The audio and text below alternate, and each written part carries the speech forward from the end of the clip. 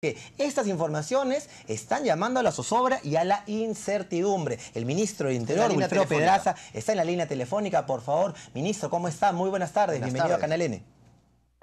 Buenas tardes. Por favor, hay muchas informaciones, ministro, respecto a saqueos en diversos mercados de Lima, no solo en Lima, en el Callao, en Breña, Magdalena. ¿Cuál es la información? Nuestros televidentes están asustados y nos están llamando. Bueno, quiero desmentir intentos de saqueo o saqueo en alguna zona de Lima.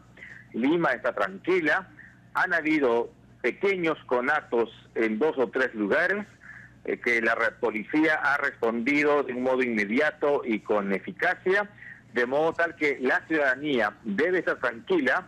Eh, la ciudad de Lima eh, no tiene ningún incidente de violencia y la zona del mercado de la parada ya está bajo dominio de la policía en el imperio de la ley. Por tanto, mi llamado a la calma, eh, las redes sociales, entiendo, mm, dan cuenta de incidentes en algunas zonas de Lima, pero yo los desmiento categóricamente.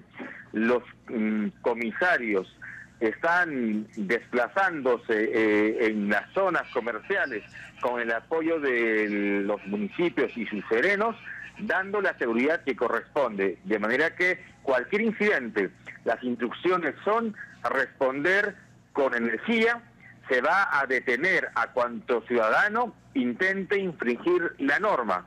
De manera que ese mensaje tiene que estar claro junto a la tranquilidad de los ciudadanos que pueden realizar sus actividades cotidianas.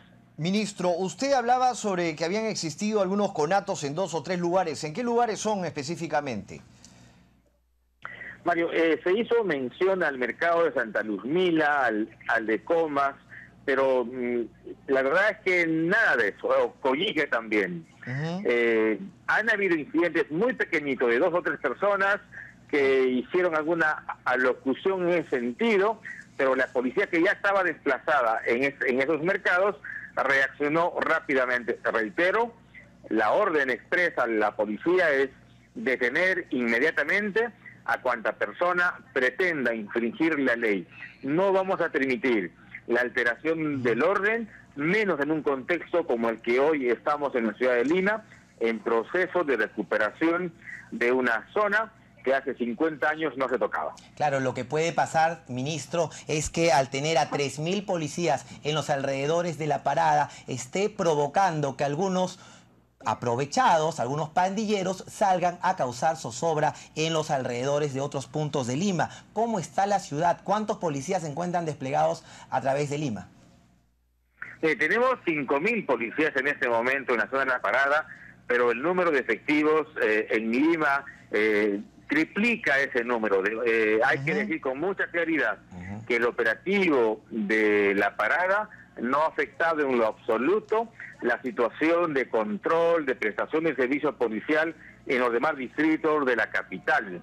Tenemos 106 mil efectivos en todo el país que están haciendo el trabajo correspondiente, de manera que, reitero, hay que guardar la calma, no existe ningún incidente violento y si lo, hubiera, responderemos de un modo eh, rápido, reitero, deteniendo a las personas, porque no vamos a permitir que el orden se altere.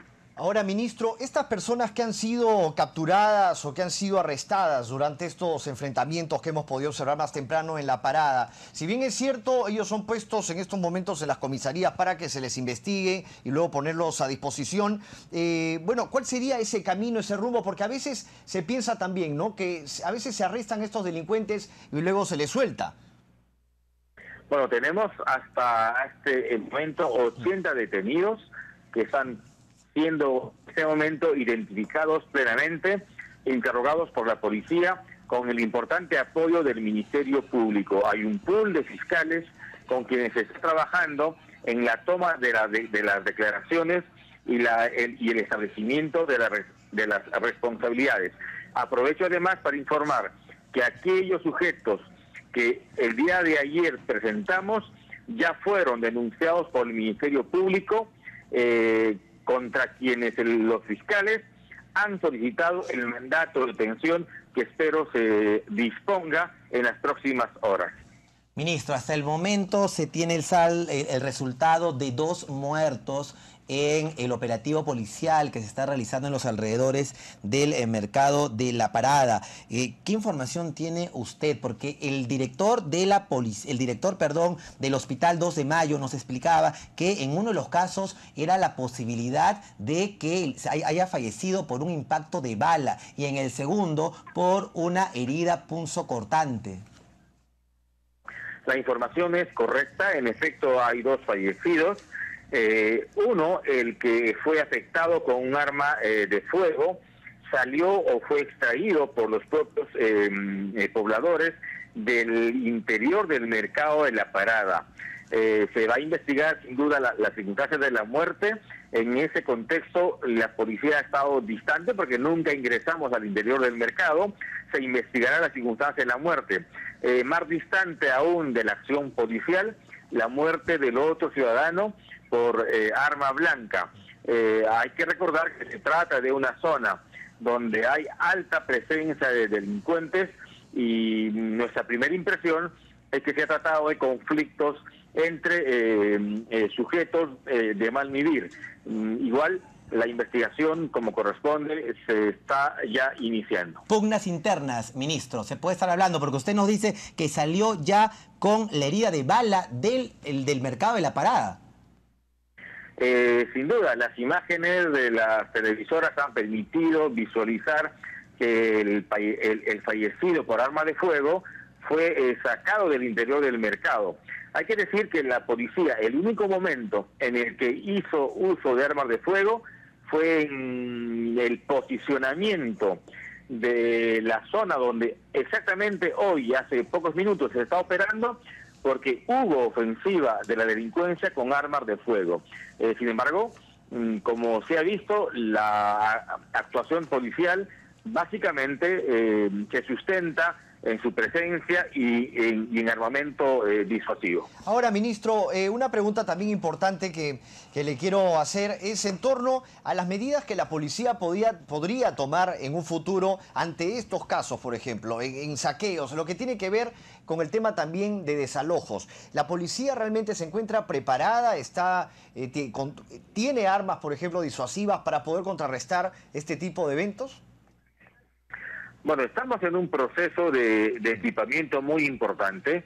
Eh, sin duda la policía eh, no tiene un equipamiento completo. Nos faltan sistemas de comunicación, eh, equipos antidisturbios y precisamente este gobierno está haciendo, un, está haciendo la inversión más grande que se ha hecho en los últimos 10 años precisamente para dotar a la policía de sistemas de comunicación, de equipamiento para enfrentar conflictos sociales o eventos como el que hoy tenemos.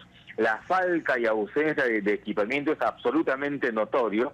Hace muchísimos años no se invierte en la, en la policía y el gobierno actual lo está haciendo de un modo importante. Claro, esas compras que ya se han efectuado eh, toman algunos meses en que los equipos lleguen, pero en unos meses tendremos una policía distinta, más capacitada, eh, mucho más equipada y por tanto con capacidad de brindar un mejor servicio a la ciudadanía. Ministro, pregunta final antes de terminar. El regidor Alberto Valenzuela habló de que se debería de declarar el estado de excepción en los alrededores del mercado mayorista de la parada. ¿Usted estaría de acuerdo por los hechos de violencia que se ha visto y no se podría mantener a tanta gente, a tantos policías en los alrededores? La Policía Nacional está en capacidad en este momento de brindar la seguridad que todos necesitan en la zona eh, del mercado La Parada y las zonas aledañas. Eh, esa medida es excepcional. Eh, por supuesto, todas las alternativas están presentes siempre. sin embargo, en este momento, la decisión es mantener tal cual el Estado.